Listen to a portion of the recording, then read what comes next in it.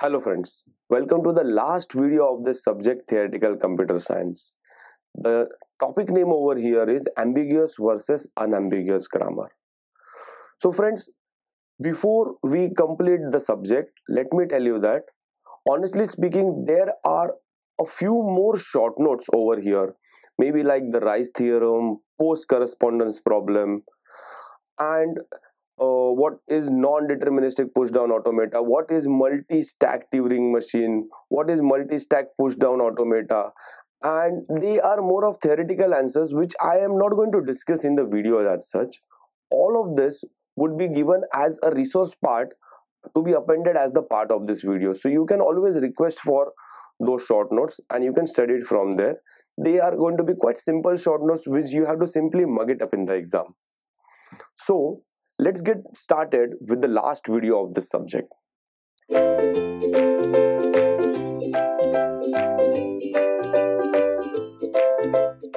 So friends, coming on to ambiguous grammar.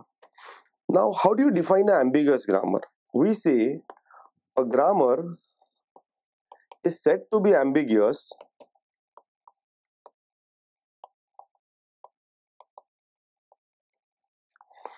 if it can derive at least one sentence. So if it can derive at least one sentence using more than one LMD or more than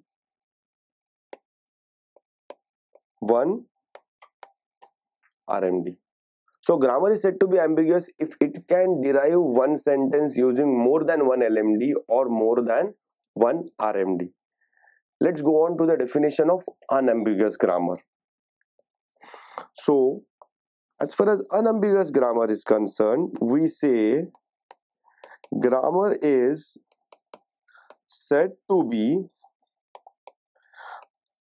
unambiguous if it can derive all sentence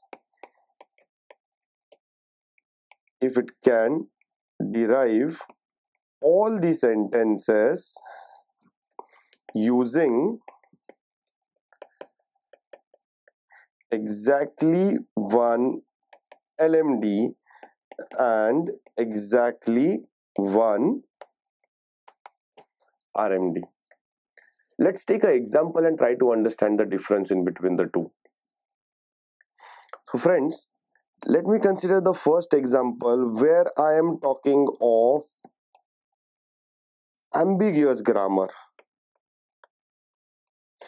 The question over here is we are given the grammar of the form E gives E plus E or E star E or ID and it is asking us to derive id plus id star id using the above productions. So now friends moving on to the solution let me write the lmd for this. So if i say i want to derive the above string i can start with e gives me e plus e right Further, since I am doing LMD, I say let this E be replaced by ID plus E remains as it is. Further going ahead, I say ID will remain as it is but instead of this E, I write E star E. Next time I say ID plus this E be replaced by ID star E next time i say id plus id and lastly this e will also be replaced by id and we see that the string is generated using lmd but as i told you this is an example of ambiguous grammar. So ambiguous grammar means the same string could be generated using more than one lmd so let's see are we able to do it so let me write one more lmd and this time i am thinking of starting with e star e okay now friends with this initially I say my first E will be replaced by E plus E and star E remains as it is. Now next time I replace the leftmost E by ID plus E star E. Next time I replace the second E by ID star E.